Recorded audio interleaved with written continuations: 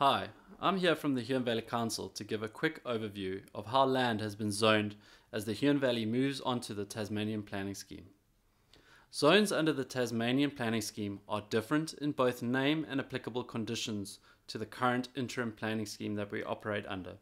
So we hope this video can assist your understanding of how the change has been applied, what it means, and what you can do about it. Firstly, zoning is not arbitrary. Huon Valley Council followed a qualitative process to apply what is called the Tasmanian Planning Commission Section 8A Guideline 1 Local Provisions Schedule Zone and Code Application Document, which you can find on Council's or the Tasmanian Planning Commission's website. The process involves taking regionally mapped characteristics of land, for example, vegetation, flood risk, and agricultural potential, and applying these to individual properties.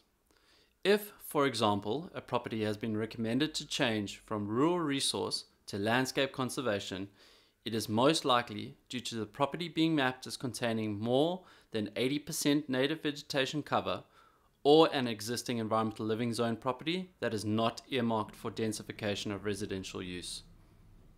A change in the zone applied to your property will mean that the uses allowed and their assessment provisions may have changed. This will impact how council assesses any future development applications for that property. This does not mean you cannot develop at all.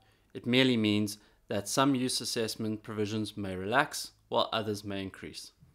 It is important to understand that zone use tables include lists of both permitted and discretionary land uses.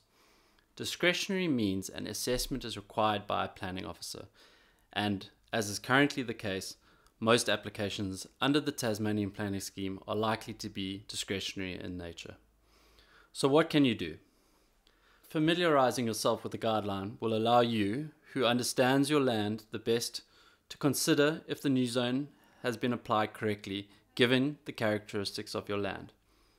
If you believe your property better fits with the application criteria of another zone, you can make a representation on this during the exhibition period which the Commission have agreed to extend to the 30th of April.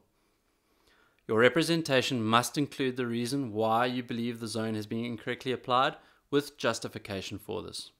We strongly recommend seeking professional planning help to present your reasoning.